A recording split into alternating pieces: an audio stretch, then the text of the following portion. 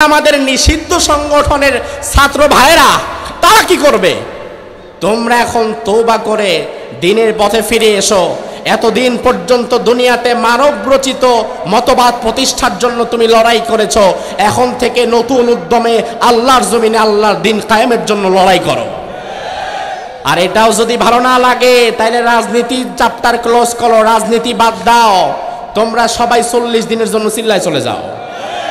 ঠিক কি না এখন শোনেন, আমাদের এই নিষিদ্ধ সংগঠনের ছাত্র ভাইরা এরা যদি চিল্লায় চল্লিশ দিনের জন্য যায়, যদি হাতে টাকা পয়সা না থাকে, যেহেতু ধান্দাবাজির ব্যবসা ট্যাবসা বন্ধ হয়ে গেছে, একটু টাকা পয়সা নাই, চাঁদাবাজি নাই, এখন কি করা দরকার? এখন তাদেরকে চিল্লায় পাঠানোর জন্য পাঁচ টাকা, দশ টাকা দিয়ে যদি আমাদের কিছু কালেকশন করা লাগে, আজকে আমরা কালেকশনও করতে রাজি আছি। ঠিক কি না হ্যাঁ আমরা চাঁদা তুলবো তোমাদের জন্য।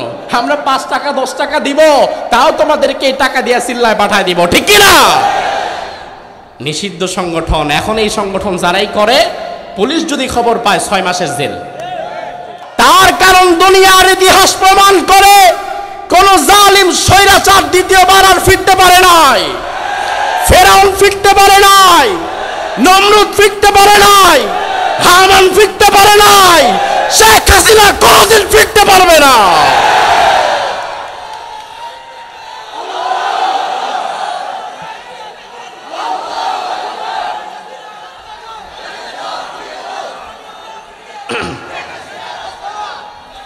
সে আল্লাহ রাব্বুল আলামিন বলছেন, বান্দা, দুনিয়ার বহু জাতিগোষ্ঠীকে আমি আল্লাহ ধ্বংস করে দিয়েছি। তাদের জুলুমের কারণে, তাদের অত্যাচারের কারণে। ওয়ালাকাদ আহলাকনাল কুরুনা মিন ক্বাবলিকুম লাম্মা যালামু। তাদের জুলুমের কারণে ধ্বংস করে দিয়েছি। এয়াতে কারিমার ব্যাখ্যায় মুফাসসিরিনে কেরাম একটি জাতির কথা তুলে ধরেছেন। সেই জাতির নাম হচ্ছে আদ জাতি। জোরে কন? কোন জাতি? কোরআনুল কারীমের মধ্যে তাদের বর্ণনা এসেছে। আল্লাহ রাব্বুল আলামিন বললেন আলাম তারা কাইফা ফাআলা রাব্বুকা বিআদ ইরম যাতিল ইমাদ আল্লাতী লাম ইখলাক মিথলুহা ফিল বিলাদ ও নবী এমন ভাবে আমি আজ জাতিকে বানিয়েছিলাম। আজ জাতির মতো কোন জাতি দুনিয়াতে আমি বানাই নাই। আজ জাতির লোকেরা তারা বড় বড় পাহাড় অট্টালিকা কেটে কেটে তাদের বাসাবাড়ি বিল্ডিং নির্মাণ করত। সূর্য বীর্যে শক্তিতে সময়ে তারাই ছিল পৃথিবীর শ্রেষ্ঠ একটা জাতি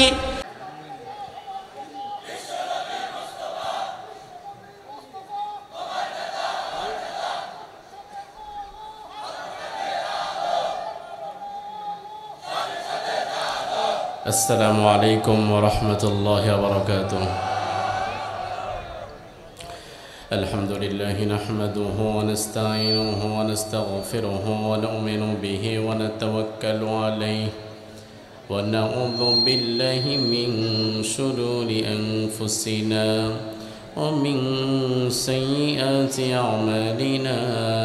من يهده الله فلا مضل له ومن يضلل فلن تجد له وليا مرشدا. ونشهد أن لا إله إلا الله وحده لا شريك له. ونشهد أن سيدنا إيماننا قدوتنا حبيبنا حبيبنا طبيبنا طبيب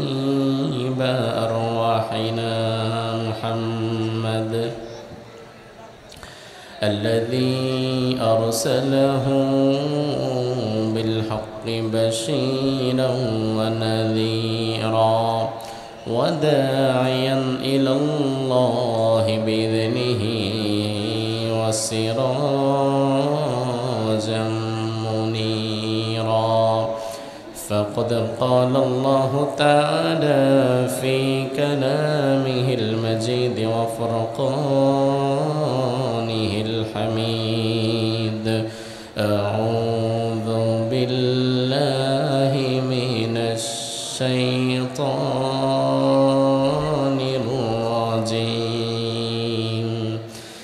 بسم الله الرحمن الرحيم. إن الله وملائكته يصلون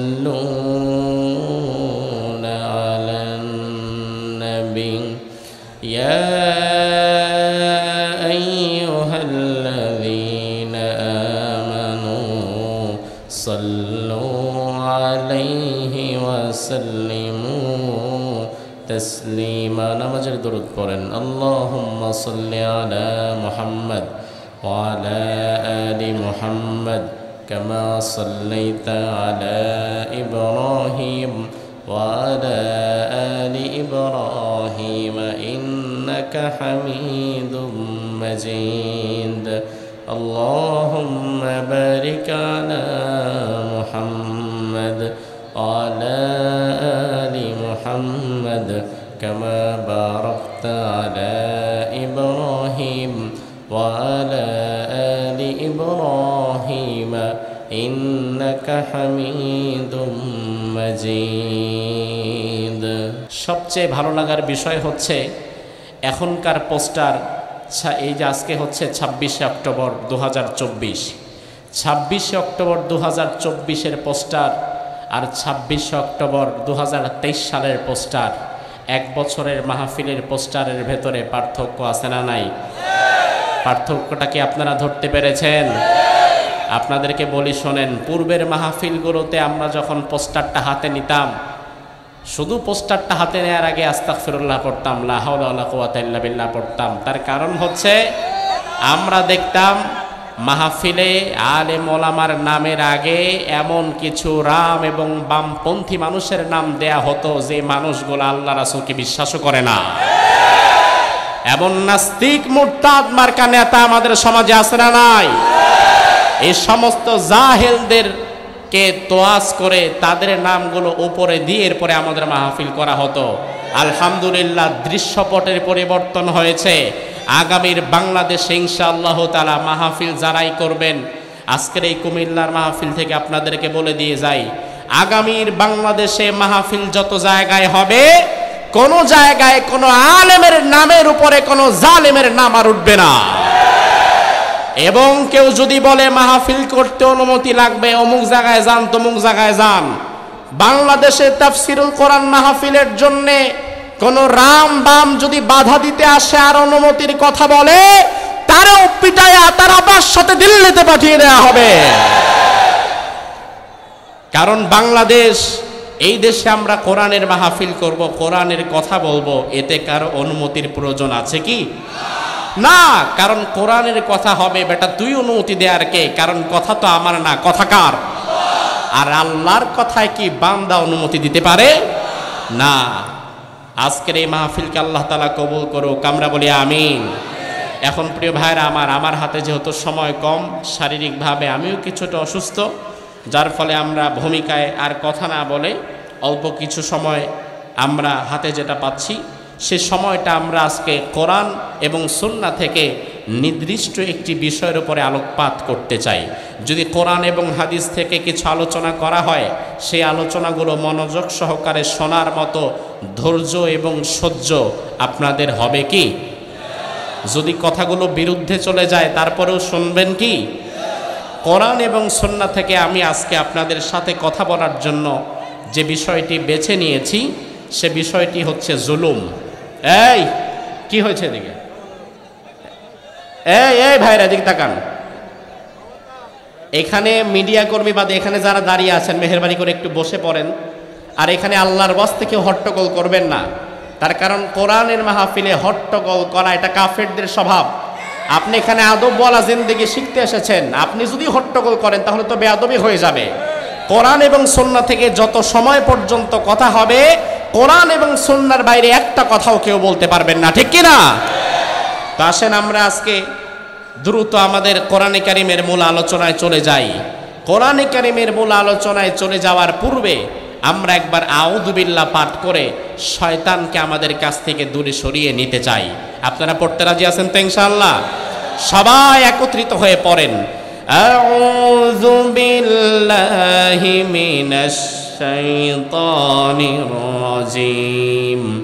بسم الله الرحمن الرحيم. ولقد أهلكنا القرون من قبلكم لما ظلموا وجاءتهم رسلهم بالبينات. وما كانوا ليؤمنوا كذلك نجزي القوم المجرمين سبحان الله বলেন আল্লাহ রাব্বুল আলামিন কোরআনুল কারীমের সূরাত ইউনুস সূরাত ইউনুসের 13 নম্বর আয়াতের মধ্যে আল্লাহ বললেন ও দুনিয়ার মানুষ আমি আল্লাহ রাব্বুল আলামিন তোমাদের পূর্বে এই জমিনে আরও বহু জাতি গোষ্ঠী বানিয়েছিলাম। বহু ভাষার, বহু বর্ণের, বহু রঙের নানান বৈচিত্র্যের মানুষ আমি আল্লাহ দুনিয়ায় পাঠিয়েছিলাম। এবং তোমাদের চাইতে শক্তিতে, সামর্থ্যে, বয়সে আরও অনেক শক্তিশালী, অনেক জাতীয় পাঠিয়েছিলাম। তবে আমি আল্লাহ রাব্বুল আলামিন দুনিয়ার অনেক বড় বড় জাতিদেরকে ধ্বংস করে দিয়েছি ডিস্ট্রয় করে দিয়েছি। লাম্মা গলামো তাদের জুলুমের কারণে। তাহলে এখান থেকে আমরা বুঝতে পারলাম, কোনো জাতিকে আল্লাহ ধ্বংস করে দেওয়ার পেছনে অন্য কোনো অপরাধ বেশি লাগে না। অপরাধের মতো অপরাধ একটা করলেই যথেষ্ট। আর সেই অপরাধের নাম হচ্ছে জুলুম। সেই অপরাধের নাম কি? কোনো গোষ্ঠী, কোনো জাতি, কোনো দল কেউ যদি জুলুম করে, কেউ যদি স্বৈরাচার হয়ে যায়, তাহলে আজকে করবে, কালকে করবে, পরশু করবে। কিন্তু একদিন না একদিন জালিমের পতন হবেই হবে। ঠিক কিনা আমার ভাইরা, জালিমের পতন হবে, জুলুমের কারণে আল্লাহ পৃথিবীর বহু জাতি গোষ্ঠীকে ধ্বংস করে দিয়েছেন। আল্লাহ রাব্বুল আলামিন কোরআনুল কারীমে আমাদেরকে বারবার মনে করিয়ে দিচ্ছেন, বান্দা, দুনিয়ার কোনো জালিম কোনোদিন সফল হতে পারবে না। আল্লাহ রাব্বুল আলামিন কোরআনের মধ্যে বলেছেন, ইন্নাহু লা ইউফলিহুল যালিমুন। নিশ্চয়ই দুনিয়ার কোনো জালিম কখনো সফল হতে পারবে না। এখন জালিম যে সফল হতে পারবে না, এটা আপনার কথা, আমার কথা নাকি আল্লাহর কথা? দুনিয়া উল্টে গেলেও আল্লাহর কথা কি মিথ্যা হতে পারে? এখন জালিম যে সফল হতে পারবে না, এটাই কিন্তু চূড়ান্ত বাস্তব এবং সত্য। আমার ভাইরা বিগত দিনগুলোতে স্বৈরাচারের সময়ের লাস্ট চার, পাঁচটা বছর এত ভয়াবহ অবস্থা হয়েছে। সাধারণ মানুষ তো দূরের কথা, আমাদের মতো দুর্বল চিত্তের ইমানদার যারা, আমাদের মতো আলে মোলামা যারা আমরাও চিন্তা করেছিলাম, আল্লাহ জালিমের পতন বুঝি কোনো দিন হবে না। আয় আল্লাহ তালা জালিমের দেখি দিন দিন শক্তি বাড়ে, জালিমের দেখি শক্তি বেশি, জালিমের জনবল বেশি, জালিমের ধনবল বেশি। সব দিক দিয়ে দেখে আমরা দুর্বল, আর জালিম দিন দিন ফুলে ফেপে কলা গাছ হয়ে যাচ্ছে। কিন্তু কোরআনের দিকে যখন তাকায়, আমার আল্লাহ বলে, বান্দা, তুমি হতাশ হইও না, তুমি হতাশ হইও না। আমি আল্লাহ তোমারে ওয়াদা করলাম, জালিম সফল হতে পারবে না। একদিন না একদিন জালিমের পতন ঘণ্টা বাজবেই বাজবে, যেটা বেজেছে পাঁচই আগস্ট। আমার ভাইরা, ভালো করে বোঝেন, কিছু গুরুত্বপূর্ণ কথা বলে দিয়ে যাই। দুনিয়ার মানুষের কাছে সফলতা যেটা এটা আসলে প্রকৃত সফলতা নয়। প্রকৃত সফলতা সেটা যেটা আল্লাহর দৃষ্টিতে সফলতা। দুনিয়ার মানুষের কাছে যেটা ব্যর্থতা, সেটা আসলে মনত ব্যর্থতা নয়। কারণ দুনিয়ার মানুষ সকালে যেটারে সফলতা মনে করে, বিকাল বেলায় সেটা আবার ব্যর্থতায় রূপ নিতে পারে। আবার বিকাল বেলায় যেটারে ব্যর্থতা মনে করে, সকাল বেলায় পরের দিন সেটাই আবার সফলতায় রূপ নিতে পারে। কারণ সফলতা, ব্যর্থতা নির্ণয় করার জন্য ভবিষ্যতের জ্ঞান দরকার। আর ভবিষ্যতের জ্ঞান দুনিয়ার কারণাই ভবিষ্যতের জ্ঞান যার আছে তিনি কে? আপনাদেরকে উদাহরণ দিলে ভালো করে বুঝবেন। আপনাদের এই শ্রীফলিয়া বাজার, এখান থেকে আগামীকাল ভোর পাঁচটার দিকে একটা গাড়ি ছাড়বে। নাঙ্গলকোট হয়ে আপনি ঢাকায় যাবেন। সাতটার মধ্যে আপনাকে ঢাকা গুলিস্তান উপস্থিত থাকতে হবে। আপনার গুরুত্বপূর্ণ মিটিং আছে। সাতটার মধ্যে উপস্থিত না থাকতে পারলে আপনি, আপনার অনেক বড় ক্ষতি হয়ে যাবে। আপনি ভোর পাঁচটায় নাঙ্গলকোট থেকে যেই গাড়িটা ছাড়বে, সেই গাড়িটার সাথে কথা বলে রেখেছেন, টিকিট কেটে রেখেছেন। পাঁচটা বাজে গাড়ি ছাড়বে, কিন্তু হঠাৎ করে সেই দিন আপনার ঘুমের চাপ বেশি হয়ে গেছে। আপনাকে শ্রীফলিয়া বাজার থেকে নাঙ্গলকোট যেতে যেতে অনেক সময় লেগে গেছে। ভোরবেলায় পাঁচটার দিকে কাউন্টারে থাকার কথা, আপনি পাঁচটার দিকে থাকতে পারলেন না, সাড়ে পাঁচটা বেজে গেছে। আপনি যাওয়ার পরে দেখলেন, আপনারে না পেয়ে ওই বাসটা ঢাকার উদ্দেশ্যে ছেড়ে চলে গেছে। সারাদিনে এখান থেকে আর কোনো বাসও আপনি এখন পাবেন না। এবার আমার ভাইয়েরা একটু জবাবটা দেন।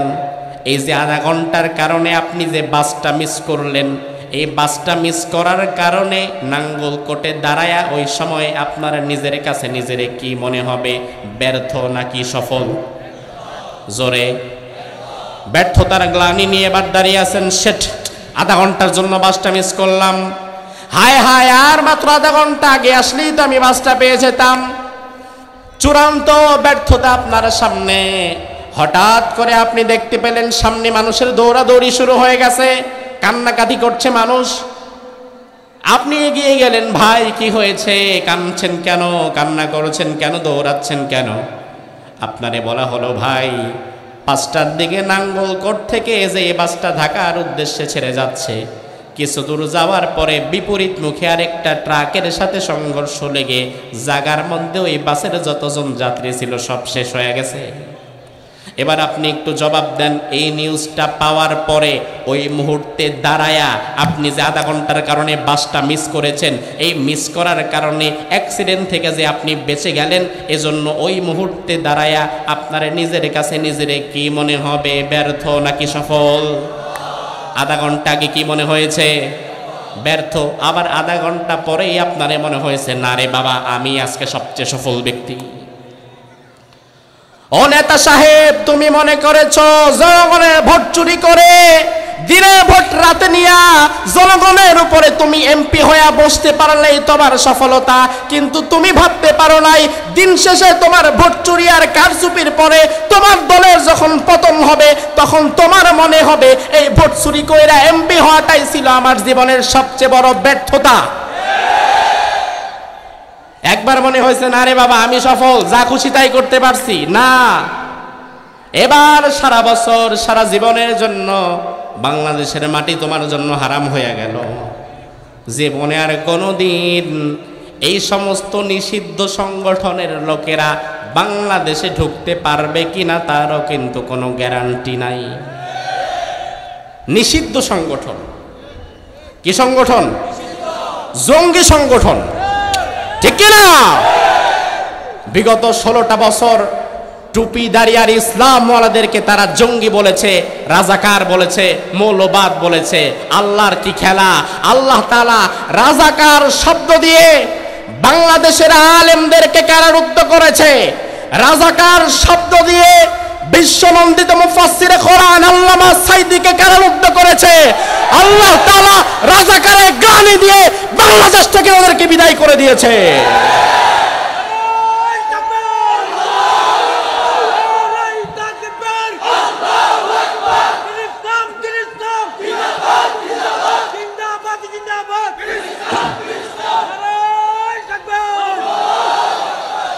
কি আজব বিষয় চিন্তা করেন? সারা জীবন গালি দিয়েছে, রাজাকার রাজাকার রাজাকার। এরপরে হঠাৎ করে মুখ ফুসকে বের হয়ে গিয়েছে। মুক্তিযোদ্ধার নাতিদের দেব না রাজাকারের নাতিকে দেব? আল্লাহ বলছে, রাগ বান্দা, এবার এই রাজাকার শব্দের কারণে তুই দেশ ছাড়বি। আর দুনিয়ার একটা চরম বাস্তবতা হচ্ছে যে যত বড় জালিম আল্লাহ তালা তার পতন ঘটায় তত আস্তে। এমন ভাবে পতন ঘটায় দেয় যেটা সে কল্পনাও করতে পারে নাই। হম্বি তম্বি দেখে মনে হয়েছে দু হাজার চব্বিশ, সাতচল্লিশ দূরে থাক, সারা জীবন বোধহয় তারাই ক্ষমতায় থাকবে। আল্লাহ বলে, না, আমি আল্লাহ তালা যেমন ক্ষমতায় বসাই, আবার আমি আল্লাহ চাইলে ক্ষমতার গদি থেকে টাইনা নামায়া পরের দিন জেলের কয়দি বানায় দিতে পারি। ক্ষমতা কার? কার ক্ষমতা? সে আল্লাহ রাব্বুল আলামিন বলছেন, বান্দা দুনিয়ার জালিমরা কখনো সফল হতে পারবে না, এটাই চূড়ান্ত বাস্তব কথা। আল্লাহর হাবিব সাল্লাল্লাহু আলাইহি ওয়াসাল্লাম বললেন, ইন্নাল্লাহা লা ইউমলি লিয-যালিম হাত্তা ইযা আখাযাহু লাম ইউফলিতহু। দুনিয়ার মানুষ যেমন ঘুরে ওড়ায় ঘুরে ওড়াবার সময় মানুষ যেমন ঘুড়িকে ঢিল দেয়, ঘুড়িকে যেমন ছাড় দেয়, আল্লাহ তাআলা তেমন দুনিয়ার জালিমদেরকেও ছাড় দেয়, ঢিল দেয়। তবে আল্লাহ ছাড় দেওয়া আর ছেড়ে দেওয়া এক বিষয় না।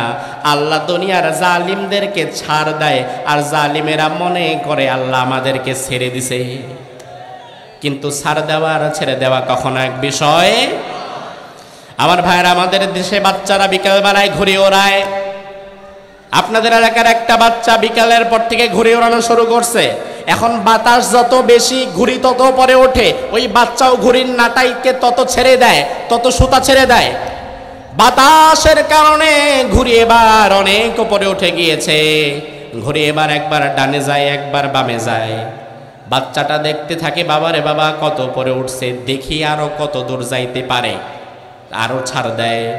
সুতাটাকে আর একটু ঢিল করে দেয়। এবার এক পর্যায়ে ঘুরি বিরাট ওপরে উঠে চলে যায়। অনেক ওপরে উঠে যাওয়ার পরে ঘুড়ি মনে করে পুরো আকাশ আমার। আমি সবার উপরে, আমি যা খুশি তাই করব। কিন্তু মুয়াজ্জিন যখন মাগরিবের সময় আবার আজান দেয়, বাচ্চাটা কিন্তু সাথে সাথে নাটায়ের মধ্যে আবার তার সুতাটাকে টানতে থাকে। সুতাটা যখন টেনে শেষ পর্যন্ত নিয়ে আসে, ওই ওপরে থাকা ঘুড়িকেও কিন্তু মাটির মধ্যে এসে পড়া লাগে। তুমিও তো সেই ঘুড়ির মতো হয়ে গিয়েছিলে। দুনিয়ার দুদিনের ক্ষমতা তোমাকে জালিম স্বৈরাচার বানিয়ে ফেলেছে। তুমি একবার ডানে যাও, একবার বামে যাও, যা খুশি তাই করো। তুমি মনে করেছ, তোমার ধরার মতো কেউ নাই, বরং তোমারে ভারত বাঁচাবে, দিল্লি বাঁচাবে। কিন্তু তুমি ভুলে যেও না, বাচ্চা যেমন ঘুড়ির সুতাকে টান দিলে, ঘুড়িকে যেমন মাটির মধ্যে পড়ে যাওয়া লাগে, আল্লাহ যখন তোমার সুতা ধরে টান দিয়েছে, তোমারও ভারতে পালায় যাওয়া লেগেছে। কিসের জুলুম করবা দুনিয়াতে তুমি? দুনিয়াতে জুলুম করার মতো তোমার কিছুই নাই। সেজন্য আল্লাহ রাব্বুল আলামিন বলছে, বান্দা, তুমি নিজে জুলুম করবা না, অপরের প্রতি কখনো জুলুম করবা না। তুমি নিজে জুলুম করবা না, অপরকে আবার জুলুমের প্রতি সহায়তাও করবা না। রব্বুল আলামিন বলছেন, ওয়ালা তারকানু إلى الذين ظلموا فتمسكم النار وما لكم من دون الله من أولياء ثم لا تنصرون سبحان الله বলেন আল্লাহ রাব্বুল আলামিন বলছেন বান্দা ওয়ালা তারকানু ইলাল্লাযীনা যালামু যারা জালিম হয় তুমি তাদের দিকে ঝুঁকে যেও না তুমি জালিমের কাছে ঝুঁকে পড়ো না। তোমার অর্থ, তোমার ক্ষমতা তুমি জালিমের শক্তি বৃদ্ধির জন্য ব্যয় করো না। আমাদের দেশে এমন অনেক মানুষ আছে, সে হয়তো সরাসরি জালিম হয় নাই, সে হয়তো জুলুম করতে পারে নাই। কিন্তু সে এমন মানুষকে বা এমন দলকে সাপোর্ট করেছে, যারা ক্ষমতায় যাওয়ার পরে জুলুম করেছে। আল্লাহ বলে, বান্দা, তুমি যারা সাপোর্ট করে ক্ষমতায় নিয়েছো, ওই ব্যক্তি বা ওই দল যদি জুলুম করে, ওই জুলুমের গুণা তোমার আমল নাম আমার ভাইরা মিসকাতুল মাসাবিহের একটা হাদিস মনে পড়ে গেল, শুনিয়ে দেই। আল্লাহর হাবিব বলেন, কোন বান্দা যদি কোন জালিমের শক্তি বৃদ্ধি করার জন্য কাজ করে তাহলে ফাকদে খরজা মিনাল ইসলাম। ওই বান্দা সাথে সাথে যেন ইসলাম থেকে নিজেকে বের করে ফেলে, বের হয়ে যায়। আমাদের দেশের অনেক যুবক বিগত দিনে স্বৈরাচার জালিমের শক্তি বৃদ্ধিতে কাজ করেছে। এমন যুবক কুমিল্লাতে বাসানা নাই? আঠারো, বিশ, বাইশ বছরের যুবক।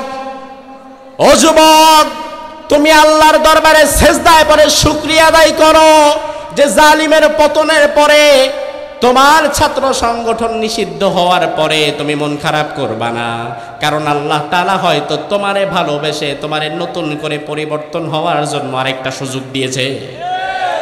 ঠিক কিনা ছাত্রলীগ নিষিদ্ধ হয়ে গেছে। ছাত্রলীগ নিষিদ্ধ হতে তোমরা যারা পূর্বে ছাত্রলীগ করেছ, মন খারাপ করবা না, প্রতিহিংসার রাজনীতি করবা না। আল্লাহর দরবারে সেজদায় পরে কাঁদো। তুমি আল্লাহর কাছে সেজদায় পরে কাঁদো, শুক্রিয়া আদায় করো। আল্লাহ তালা জাহান্নামের পথ থেকে বাঁচিয়ে তোমাকে জান্নাতের পথের দিকে আনতে চাচ্ছে।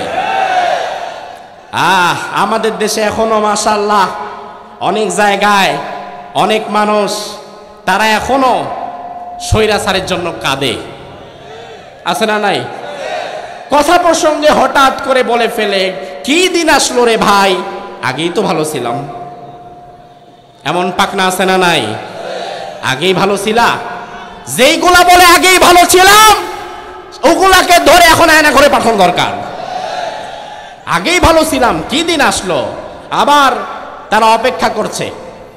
কিছু মানুষ অপেক্ষা করছে যে আপা আবার ফিরে আসবে। এই অপেক্ষা অনেকের আছে না নাই? বাদ দাও, স্বপ্ন দেখা বাদ দাও, বাদ দিয়ে দাও।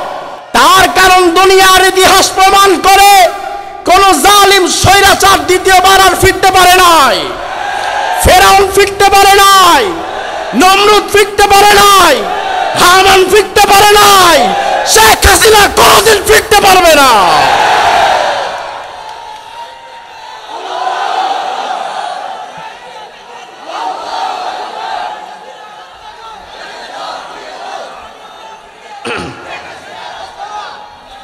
এইবার শোনেন এখন আমাদের, আরে শোনেন, এখন আমাদের নিষিদ্ধ সংগঠনের ছাত্র ভাইরা তারা কি করবে? তোমরা এখন তৌবা করে দিনের পথে ফিরে এসো। এতদিন পর্যন্ত দুনিয়াতে মানব রচিত মতবাদ প্রতিষ্ঠার জন্য তুমি লড়াই করেছ। এখন থেকে নতুন উদ্যমে আল্লাহর জমিনে আল্লাহর দিন কায়েমের জন্য লড়াই করো। আর এটাও যদি ভালো না লাগে তাহলে রাজনীতি, চাপ্টার ক্লোজ করো, রাজনীতি বাদ দাও। তোমরা সবাই চল্লিশ দিনের জন্য চিল্লায় চলে যাও। ঠিক কিনা? এখন শোনেন, আমাদের এই নিষিদ্ধ সংগঠনের ছাত্র ভাইরা এরা যদি চিল্লায় চল্লিশ দিনের জন্য যায়, যদি হাতে টাকা পয়সা না থাকে, যেহেতু ধান্দাবাজির ব্যবসা ট্যাবসা বন্ধ হয়ে গেছে, একটু টাকা পয়সা নাই, চাঁদাবাজি নাই, এখন কি করা দরকার? এখন তাদেরকে চিল্লায় পাঠানোর জন্য পাঁচ টাকা, দশ টাকা দিয়ে যদি আমাদের কিছু কালেকশন করা লাগে, আজকে আমরা কালেকশনও করতে রাজি আছি। ঠিক কিনা? হ্যাঁ আমরা চাঁদা তুলবো তোমাদের জন্য। আমরা পাঁচ টাকা, দশ টাকা দিব, তাও তোমাদেরকে এই টাকা দিয়ে চিল্লায় পাঠায় দিব। ঠিক কিনা? নিষিদ্ধ সংগঠন। এখন এই সংগঠন যারাই করে, পুলিশ যদি খবর পায়, ছয় মাসের জেল। আহ, কি দুনিয়া? যাদেরকে নিষিদ্ধ করতে গিয়েছিলা, তারা আজকে সিদ্ধ হয়ে গেছে। আর তোমরা এতদিন পর্যন্ত যারা যা জুলুম করেছ, এখন সেটার ফিডব্যাক পাওয়া শুরু করবা। ঠিক কিনা? সে আল্লাহ রাব্বুল আলামিন বলছেন, বান্দা, দুনিয়ার বহু জাতিগোষ্ঠীকে আমি আল্লাহ ধ্বংস করে দিয়েছি, তাদের জুলুমের কারণে, তাদের অত্যাচারের কারণে।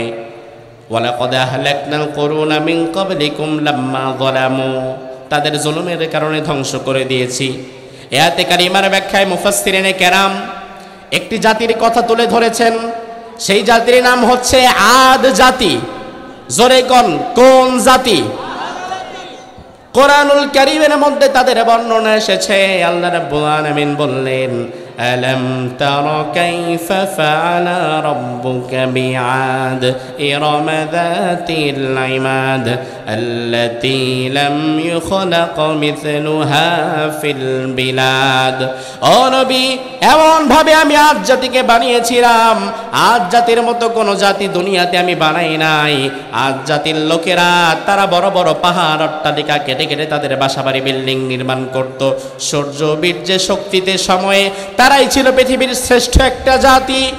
এরপরে এই জাতিকে আমি আল্লাহ ধ্বংস করে দিলাম, সামনে নির্মূল করে দিলাম জমিন থেকে। কোরআন এবং হাদিস ঘেটে আদ জাতির ধ্বংস হওয়ার পেছনে আমি তিনটা কারণ পেয়েছি। এই তিনটা কারণের দ্বারা, এই তিনটা অপরাধের দ্বারা আল্লাহ তালা আদ জাতিকে ধ্বংস করে দিয়েছে। আজকের আলোচনার শেষ বিষয়টা হচ্ছে এটা। মূল সবকটা আজকে বাড়ি নিয়ে যান। যেই তিনটা অপরাধের কারণে আল্লাহ তারা আদ জাতিকে ধ্বংস করে দিয়েছেন, এই তিনটা অপরাধ আমরা এখন কোরআন থেকে জেনে নিব এবং আমাদের মধ্যেও যদি এই তিনটা অপরাধ ঢুকে যায়, তাহলে এখনও তৌবা করার সুযোগ আছে না নাই? আল্লাহ রাব্বুল আলামিন তিনটি অপরাধের কারণে আজ জাতিকে ধ্বংস করেছেন। জোরে কন কয়টা অপরাধের কারণে? জোরে বলেন।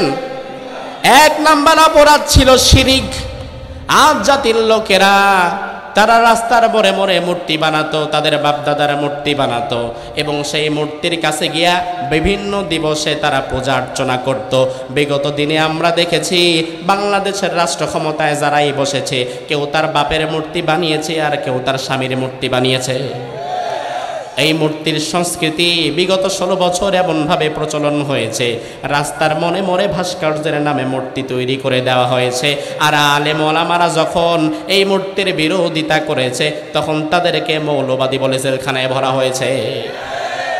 আমার ভাইরা, কিন্তু দুঃখের বিষয় হচ্ছে, যখন আমরা একদল আলেম ভাস্কর্যর মূর্তির বিরুদ্ধে কথা বলেছি শক্তভাবে, যখন আমাদের নামে মামলা হয়েছে যখন আমাদেরকে গ্রেফতার করা হয়েছে, ওই সময় আমরা দেখলাম এই জাতির কিছু চাটু করা আলেম, তারা ভাস্কর্য আর মূর্তিকে আলাদা কইরা জান্নাতের একটা সার্টিফিকেট দিচ্ছে।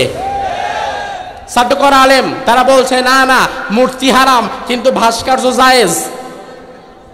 এমন আলেম আছে না নাই? এই লোকগুলা মূলত আলেম না, মূলত তারা তাদের আলেমের সাথে খেয়ানত করে। এই আজ জাতির লোকেরা তারা শিরিক করত নানানভাবে। বৃষ্টির জন্য তারা এক দেবতার পূজা করত। আবার সূর্যের জন্য আরেক দেবতার পূজা তারা করত। ফসলের জন্য আরেক দেবতার পুজো করত। আবার তাদের সুস্থতার জন্য তারা আরেক দেবতার পূজা করত। আর আমরা, আমাদের ফসল, আমাদের রোগবালাই, আমাদের যা প্রয়োজন, আমাদের যাবতীয় সকল কিছুর জন্য আমরা চাই কার কাছে? এক আল্লাহ ছাড়া কারও কাছে চাই না। কোরআনুল কারিমে আল্লাহ বললেন ওয়া ইলা আদিন আখাহুম হুদা قال يا قوم اعبدوا الله ما لكم من إله غيره আজ জাতিকে তাদের নবী হুদ আলাইহিস সালাম বললেন ও আমার জাতি এক আল্লাহ ছাড়া কারো গোলামি করবা না এক আল্লাহ ছাড়া কারও দাসত্ব করবা না। এক আল্লাহর ইবাদত করবা, তার সাথে শিরিক করবা না। কিন্তু আজ জাতির লোকেরা আল্লাহর সঙ্গে তারা বিভিন্ন জায়গায় শিরিকে লিপ্ত হয়ে গেল। এই শিরিক নামক অপরাধ আমাদের বাংলাদেশেও আছে না নাই? বরঞ্চ এখন কমছে না, আরও বাড়ছে। ভণ্ড পীরের মাজার আছে যেখানে শিরিক আছে। আজ জাতির লোকদের তিনটা অপরাধ বলব। তাহলে একটা বলে ফেলেছি, একটু মনে থাকলে জবাব দেন। আজ জাতির আজ জাতির লোকের এক নাম্বার অপরাধ কি ছিল? জোরে বলেন। দুই নাম্বার অপরাধ কোরআন আমাদেরকে জানিয়েছে আজ জাতির লোকদের দুই নাম্বার অপরাধ ছিল অহংকার করা। জোরে কন, কি করা? অহংকার বড় খারাপ জিনিস। আজ জাতির লোকদের কথা কোরআনে আল্লাহ তুলে দিয়েছেন। এই লোকেরা বলতো فاستكبروا في الأرض بغير الحق وقالوا من أشد منا قوة আজ জাতির লোকেরা অহংকার করে বলতো, আমাদের চাইতে শক্তিশালী জমিনে আর কে আছে? আমরাও বিগত দিনে দেখেছি, বিগত দিনে যারা ক্ষমতায় গিয়েছে গিয়েছে, এরা আজ জাতির লোকদের মতো দীর্ঘ সময় ক্ষমতায় থাকার কারণে এদের শরীরে অহংকারের বাসা বেঁধেছিল। আজ জাতির লোকেরা যেমন বলতো, আমাদের চাইতে শক্তিশালী কে আছে? মান্না সাদ্দুমিন্না কোয়া।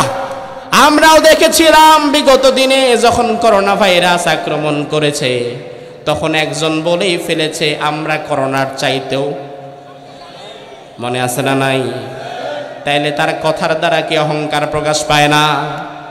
আর সবচেয়ে বড় মজার বিষয় হচ্ছে, ষোলো বছরের সৈরা স্বৈরাচারের পতনের পেছনে আমি অ্যানালাইসিস করে দেখলাম, সবচাইতে বড় কারণটাই ছিল অহংকার। আপনি কি পেয়েছেন? আমি জানি না। আমি দেখেছি সবচেয়ে বড় অপরাধ সব সবচাইতে পতনের পেছনে তাদের সবচেয়ে বড় কারণটাই ছিল অহংকার, দ্বন্দ্ব। কারণ ছাত্র সমাজ কি চেয়েছে? বৈষম্য বিরোধী ছাত্র সমাজ তারা মাঠে নেমেছে। তারা কি, ভালো করে বুঝবেন, তারা কি আওয়ামী লীগ রে ক্ষমতা থেকে নামাতে চেয়েছে? বোঝে না। নামাতে চেয়েছে? তারা কি নিজেরা ক্ষমতায় যেতে চেয়েছে? না, বরং তারা চেয়েছে কোটা। মেধার মূল্যায়ন করতে হবে এবং কোটা পদ্ধতি সংস্কার করতে হবে। দেখেন, কোটা পদ্ধতি বন্ধ করতে হবে এটা না, বরং কোটা পদ্ধতিকে সংস্কার করতে হবে যেন আমরা মেধাবীরা সুযোগ পাই। আপনারা কি বলেন, তাদের এই দাবিটা কি ঠিক নাকি ব্যাঠিক? অবশ্যই ঠিক, কিন্তু আমরা দেখলাম এই ক্ষমতার মসনদে দীর্ঘদিন যাবৎ যিনি বসে আছেন, অহংকার তার শরীরের যেন রন্ধে রন্ধে পৌঁছে গেছে। সে রেগে গিয়ে মিডিয়ার সামনে বললেন, কি বলে? আমরা কোটা মুক্তিযোদ্ধার নাতিদেরকে না দিয়ে কি রাজাকারের নাতিদেরকে দেব? এবং অহংকার তার প্রতিটা কথাই যেন অহংকার।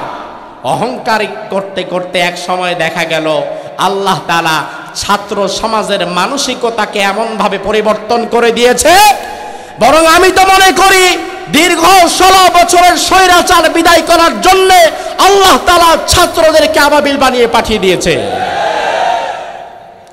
যেটা দীর্ঘদিন আমরা করতে পারি নাই, আল্লাহ তালা নিজেই তাদের মানসিকতা পরিবর্তন করে তাদেরকে ইস্তেকামতের সাথে ময়দানে রেখে দিয়েছে।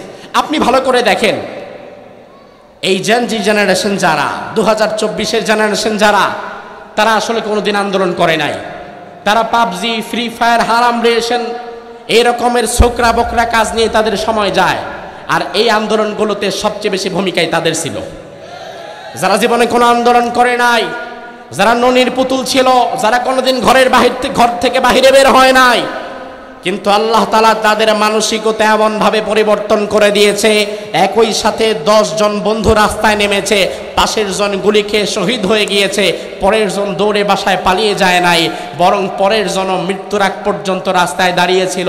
এই জন্য আমরা দেখলাম, আমাদের একজন মন্ত্রী মহোদয়কে তৎকালীন পুলিশের একজন কর্মকর্তা দেখাচ্ছিল, স্যার, গুলি জেডারে করি, খালি তো এইটাই মরে, বাকিগুলো তো আর যায় না। তার মানে মানসিকতার পরিবর্তন কে করে দিয়েছেন? কে করে দিয়েছেন? আল্লাহ তালা করে দিয়েছেন। অহংকার করতে পারবা না।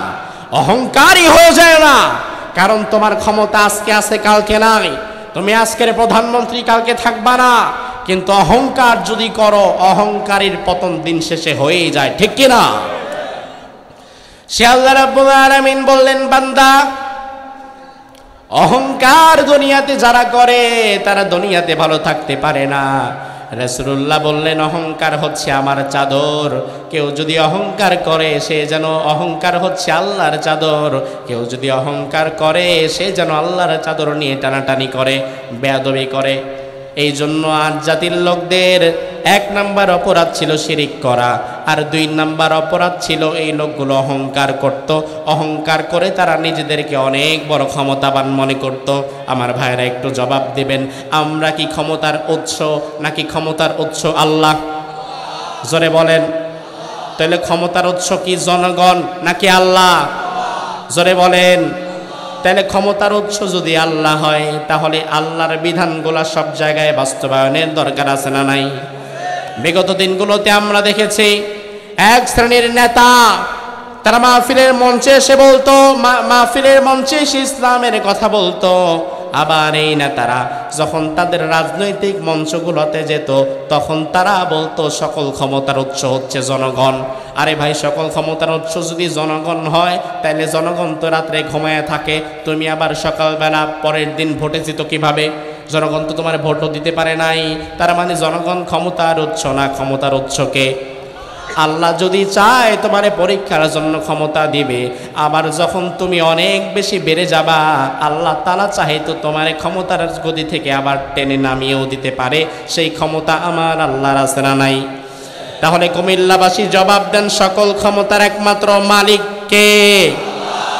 একমাত্র মালিক আল্লাহ আজ জাতির লোকেরা অহংকার করে বিষয়টাকে অস্বীকার করত, এরপরে আজ জাতির লোকদের তিন নম্বর অপরাধ যে অপরাধের কারণে আল্লাহ তাদের ধ্বংস করে দিয়েছে, এই অপরাধের নাম ছিল জুলুম।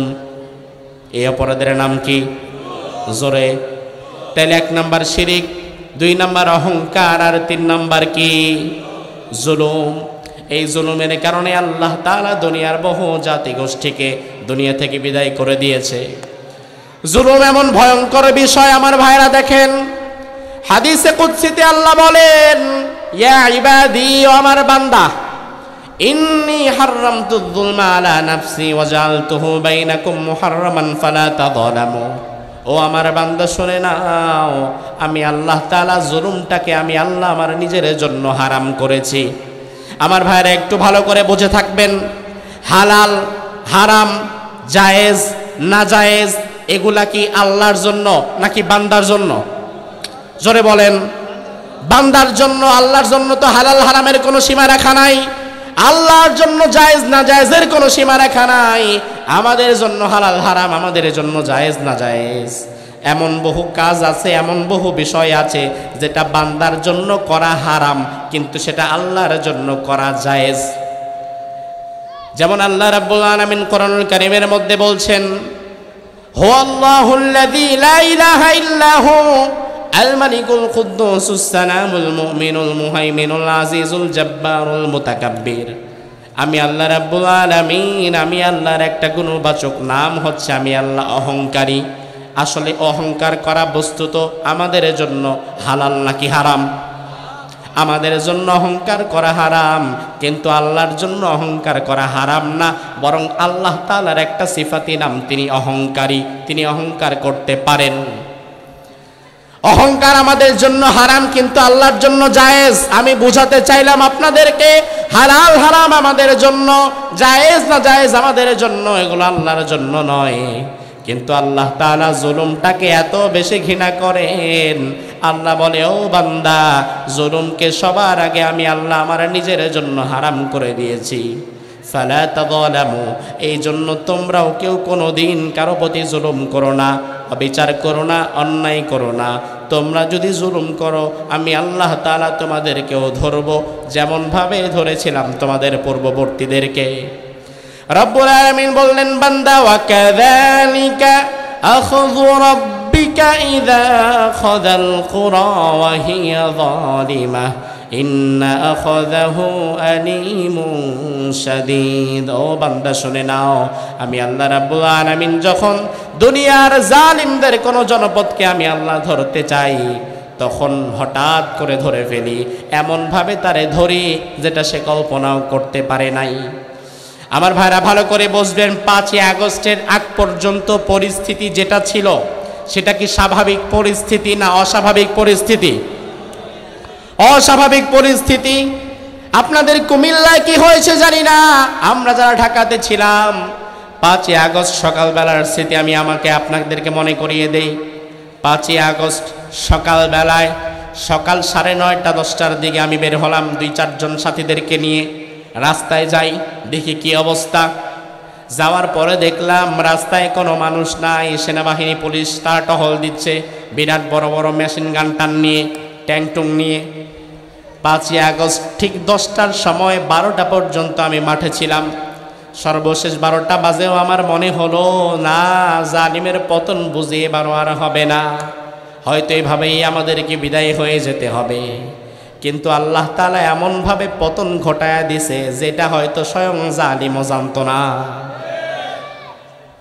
আরে জানলে তো আর দুপুরের জন্য খাবার রান্না করতে বলতো না।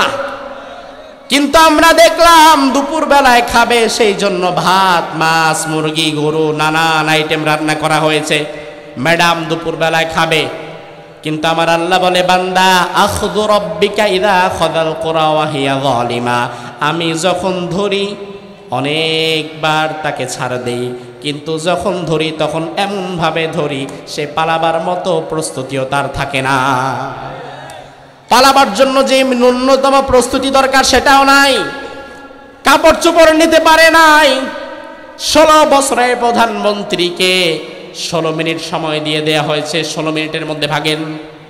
বরং ষোলো মিনিটের মধ্যে যদি আপনি দেশ না ছাড়েন, তাইলে জনতা হয়তো আইসা আপনার এমন অবস্থা করবে যেটা আপনি কল্পনাও করতে পারবেন না। এখন আমাদের আবার নতুন করে মাঝে মাঝে পতিত স্বৈরাচারের দোসরেরা আমাদেরকে মাঝে মাঝে একটু ঠেলা ধাক্কা দিয়ে দেখে যে আসলে আমরা কোন অবস্থায় আছি। স্বৈরাচাররা কি আবার ফিরতে পারবে কিনা? এজন্য মাঝে মাঝে আমাদেরকে মিডিয়ার মাধ্যমে একটু ঠেলা দেয়, একটু ধাক্কা দেয়। সেই ধাক্কাটা কেমন? হঠাৎ করে রাষ্ট্রপতি সাহেব বলে ফেললেন যে আমার কাছে আসলে তার লিখিত বিদায়ের কোনো চিঠি নাই। সে যে আমার এখান থেকে চলে যাবে, তার কোনো নথিপত্র আমার কাছে নাই। আমার কাছে তার পতনের শেষ সময়কার কোনো দরখাস্ত নাই, কোনো ডকুমেন্টস নাই, কিচ্ছু নাই। আমরা বলি, আরে ভাই, পতনের সময় সে যে বিদায় হবে, এটা কি সে আগে জানতো? কথা বলেন না কেন, আগে জানতো। আমরা তো তাকে পালিয়ে যেতে বলি নাই, ছাত্র সমাজ তাকে পালাতে বলে নাই। ছাত্র সমাজের সর্বশেষ আন্দোলনটা ছিল ক্ষমতা থেকে পদত্যাগ করা পদত্যাগ করলেই তো হয়ে যেত, পালাতে হলো কেন? যখন পালিয়েই গিয়েছে, তখন বোঝা হয়ে গেছে, এমন কিছু অপরাধ হয়তো সে পূর্বে করেছে, সে ক্ষমতা থেকে ছেড়ে এখানে বাঁচতে পারত না এই জন্য চাষা আপন প্রাণ বাসা আগে ভাগে পালায় গেছে। বিগত ষোলো বছর আমাদের উপর অত্যাচার কম হয় নাই। বিগত ষোলো বছর ইসলামী আন্দোলনের নেতাদেরকে ধরে ধরে বসির কাস্টে ঝুলিয়ে দেওয়া হয়েছে। বিগত ষোলো বছর আলে মোলামাদেরকে নির্বিচারে কারণ নির্যাতন করা হয়েছে? আমরা পালিয়ে যাই নাই, কারণ পালাবার জন্য আমরা জন্ম হই নাই, আমরা মরলেও বাংলাদেশে মরব। আর যারা পালিয়ে যায়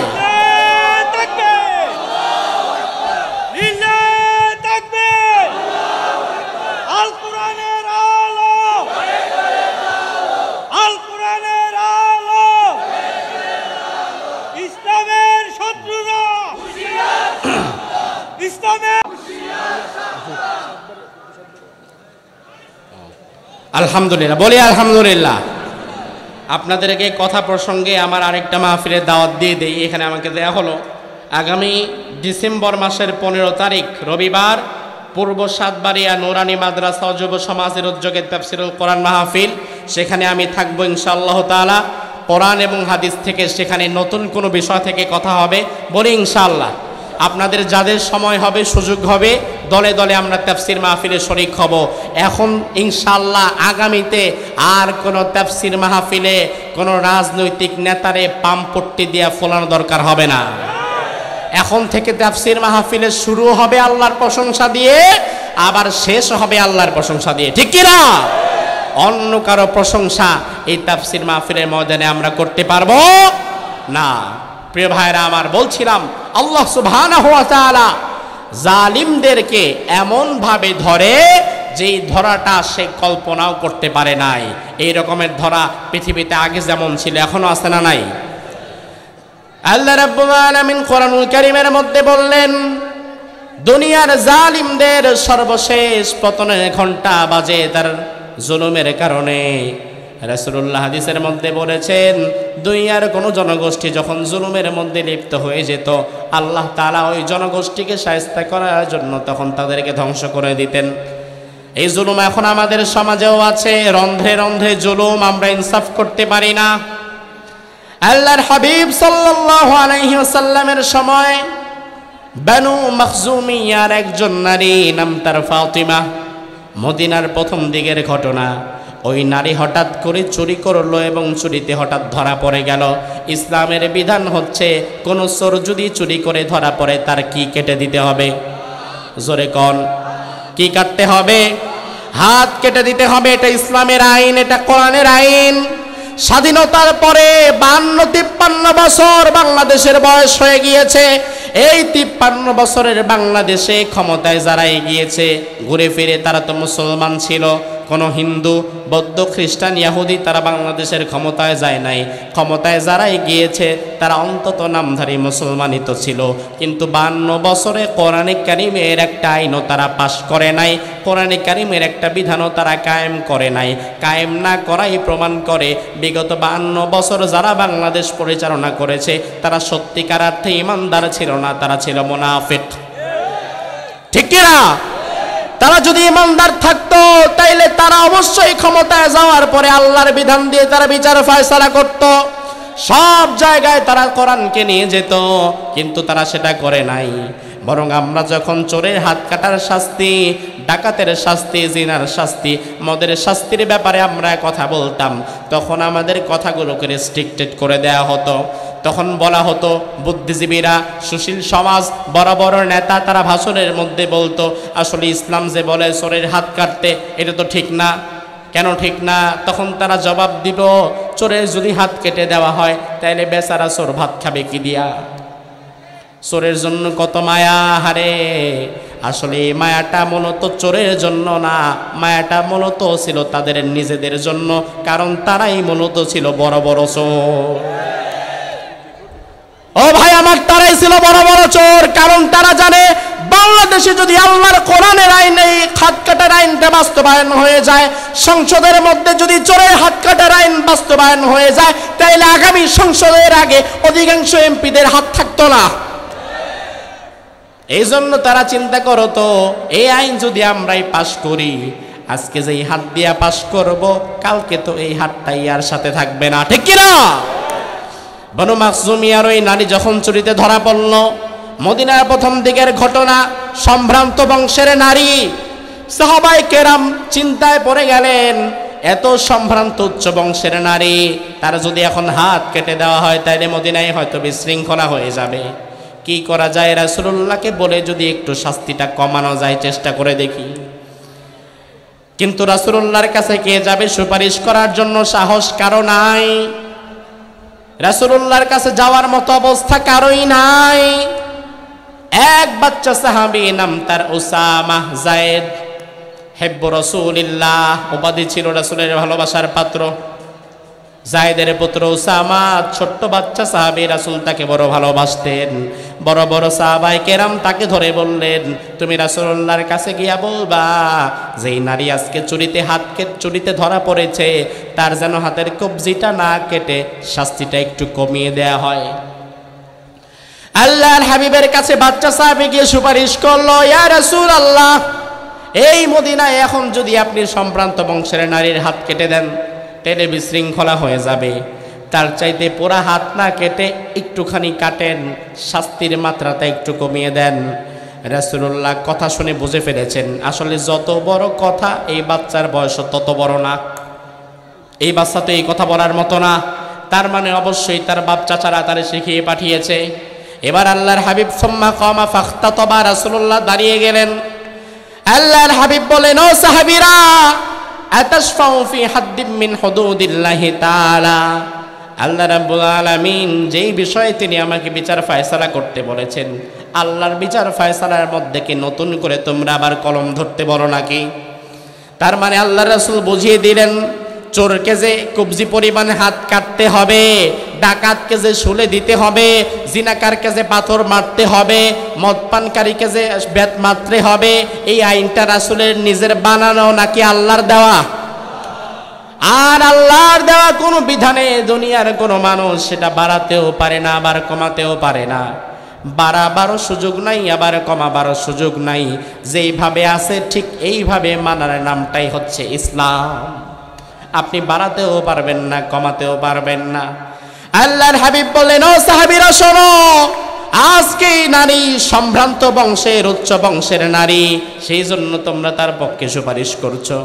সাহাবিরা, শোনো, ইন্নামা হালাকাল্লাযীনা কানু ক্বাবলাকুম আন্নাহুম কানু ইযা সারাকা ফীহিমুশ শারীফ তারাকু ওয়া ইযা সারাকা ফীহিমুদ যায়িফ আকামু আলাইহিল হাদ। ও সাহাবিরা, তোমাদের পূর্বে যে জাতিদেরকে আল্লাহ ধ্বংস করে দিয়েছেন, ওই জাতিদেরকে ধ্বংস করার সবচাইতে বড় কারণ ছিল ওই জাতির লোকদের মধ্য থেকে যখন কোনো সম্ভ্রান্ত উচ্চ বংশের কেউ কোনো অপরাধ করত, ওই অপরাধের কোনো বিচার হতো না, তারে বেকসুর খালাস দেওয়া হতো। একই অপরাধ যখন নিচু বর্ণের গরিব অসহায় কোনো মানুষ করত, তখন তার উপরে শরীয়তের শাস্তি কায়েম করা হতো। এই দৃশ্যটা কিন্তু বর্তমানে আমাদের সমাজেও আছে। একই অপরাধের শাস্তি আমরাও দুই জায়গায় দুই রকম ভাবে দিয়ে দেই। গরিবের ছেলে যদি আপনাদের শ্রীফলিয়া বাজারে দাঁড়ায় মদ খায়, প্রশাসন যদি দেখে একজন রিক্সাওয়ালা এই বাজারে দাঁড়িয়ে মদ খাচ্ছে, প্রশাসন তারে অ্যারেস্ট করে থানায় নিয়ে যাবে, বেটা, মদ খাস কেন? মাদক দ্রব্য তো নিষিদ্ধ। কিন্তু আবার এই মাদক দ্রব্যটা যদি কুমিল্লার কোনো নাইট ক্লাবে, ঢাকার কোনো ফাইভ স্টার হোটেলে গিয়া খাওয়া হয়। ঢাকার বড় বড় ফাইভ স্টার হোটেলে মাদক দ্রব্য আছে না নাই? জানে না? আছে না নাই? আমার সপ্তাহখানেক পূর্বে আমার একটা মিটিং ছিল, বাংলাদেশের ট্রুলি ফাইভ স্টার যেটা সেরাটন সেরাটনের পক্ষ থেকে একটা মিটিং ছিল আমার। সেখানে যাওয়ার পরে আমি দেখলাম একটা সাইডে আছে আলাদা বার, বারের সাইড। অর্থাৎ ওই সাইডে দুনিয়ার সকল দামি দামি মদের ভান্ডার আচ্ছা এই যে এত দামি দামি মদ বাংলাদেশের একটা হোটেলের মধ্যে রিজার্ভ করা, এই মদগুলা খায় কি ভিনদেশি মানুষ নাকি আমার দেশের লোকেরাই? তো আমার দেশের লোকেরা এখানে দিনরাত মদ খাচ্ছে। তো এই হোটেলে যে মদ পাওয়া যায়, আবার মদ খাওয়া হয়, এটা কি প্রশাসন জানে না? অবশ্যই জানে, কিন্তু ওই হোটেলে কয়দিন প্রশাসন যায়? শ্রীফলিয়া বাজারে কেউ মদ খাইলে আপনি তারে ধরবেন, আর সোনারগাঁও শিরাটনে যখন কেউ মদ খাবে, আপনি তারে ধরবেন না। একই দেশে একই অপরাধের দুই রকম আইন থাকলে এই অপরাধ জীবনে বন্ধ হবে না। যদি আপনি বন্ধ করতে চান, শ্রীফলিয়া বাজারেরটা যখন বন্ধ করবেন আপনি নাঙ্গলকোটেরটা যেভাবে বন্ধ করবেন, লাকসামেরটা যেভাবে বন্ধ করবেন, একইভাবে ফাইভ স্টার হোটেলের মদ খাওয়া বন্ধ করতে হবে। বাংলাদেশের যে আইন, বাংলাদেশের যেই সংবিধান, বাংলাদেশের এই সংবিধান হয়ে গেছে মাকড়সার জালের মতো। কিসের মতো? মাকড়সার জালের মতো, তার কারণ হচ্ছে, আপনি দেখবেন ঘরে কোনায় মাকড়সার জাল, মাকড়সা জাল বানায় এই মাকড়সার জালে কখনো মশা আটকে যায় এই মাকড়সার জালে কখনো পিপিলিকা আটকে যায়। জালটা যদি একটু গাঢ় হয়, তাইলে কখনো কখনো দুর্বল কিছু মাছিও আটকে যায়। কিন্তু টিকটিকি যখন ডান দিক থেকে বাম দিকে দৌড় দেয়, তখন টিকটিকি মাকড়সার জালে আর আটকায় না, বরং তখন জালি আর থাকে না। বাংলাদেশের আইন হয়ে গিয়েছে মাকড়সার জালের মতো। এই মাকড়সার জালের মতো সংবিধানের রিক্সাল অপরাধ করলে তার বিচার হয়। এই মাকড়সার জালের মতো সংবিধানে কুলিওয়ালা অপরাধ করলে তার বিচার হয়। এই মাকড়সার জালের মতো আইনে ইমাম সাহেব অপরাধ করলে তার বিচার হয়। কিন্তু এই মাকড়সার জালের মতো সংবিধানে নেতা মন্ত্রী অপরাধ করলে আর তার বিচার হয় না। বিচার হবে তো দূরের কথা, তখন সংবিধানে আর খুঁজে পাওয়া যায় না। বরং আমি মনে করি বাংলাদেশের এই প্রচলিত সংবিধানকে বাদ দিয়া মুসলমানদের সময় এসেছে নতুন করে আল্লাহর কোরআনকে সংবিধান বানাবার। ঠিক কিনা আল্লাহর কোরআনকে সংবিধান বানাবার সময় এসেছে। ও আমার জাতি, সর্বশেষ কথা তোমাদেরকে বলে দিয়ে যাই। সর্বশেষ কথা বলে আমি বিদায় নেব। আল্লাহর কোরআন বাংলাদেশের সংবিধান হোক, এটা কি আপনারা চান? সবাই চান? এই যে স্বাধীনতার পরে বান্ন বছর চলে গেছে, এই বান্ন বছরে বহু রাজনৈতিক দলের উত্থান পতন আমরা দেখেছি। এই বান্ন বছরে বহু নেতার পরিবর্তন আমরা দেখেছি। এই বান্ন বছরে বঙ্গবন্ধুকে দেখেছি, জিয়াউর রহমানকে দেখেছি, খালেদা জিয়াকে দেখেছি, শেখ হাসিনাকে দেখেছি, এরশাদ সাহেবকে দেখেছি, সব নেতাকে দেখেছি। মূলত এই বান্ন বছরের বাংলাদেশে নেতার পালা বদল হয়েছে, কিন্তু কোনোদিন নীতির পালাবদল হয় নাই। এই জন্য আমরা দেখেছি শুধু জালিমের পালা বদল হয়েছে, জুলুমের পালা বদল হয় নাই। আগে সাদা তুলতো এক দল, এখন নতুন ভাবে সাদা তুলতে আসে আরেক দল। সাদা তো রয়েই গেছে, সিন্ডিকেট তো রয়ে গেছে, জুলুম তো রয়েই গেছে। এবার এই বৈষম্য বিরোধী নতুন বাংলাদেশে আমরা ইসলামপন্থী জনগণ আমরা আর নেতার পালা বদল চাই না। এখন আমরা মূলত নীতির পালা বদল চাই। এটা কি আপনারা চান? আগামীর বাংলাদেশে ডাক্তার কামালের লেখা মাকড়সার জালের মতো সংবিধানকে বাতিল করে আল্লাহর কোরআনকে আমরা ক্ষমতায় দেখতে চাই। আপনারা কি দেখতে চান? আগামীর বাংলাদেশে দল মত নির্বিশেষে কোরআন হবে আমাদের সংবিধান, ইসলাম দিয়ে বাংলাদেশ পরিচালিত হবে। আমার অর্থনীতি, সমাজনীতি, রাজনীতি, সব নীতি চলবে কোরআন দিয়ে। কারা কারা চাও দুই হাত তোলা আল্লাহরে দেখাও।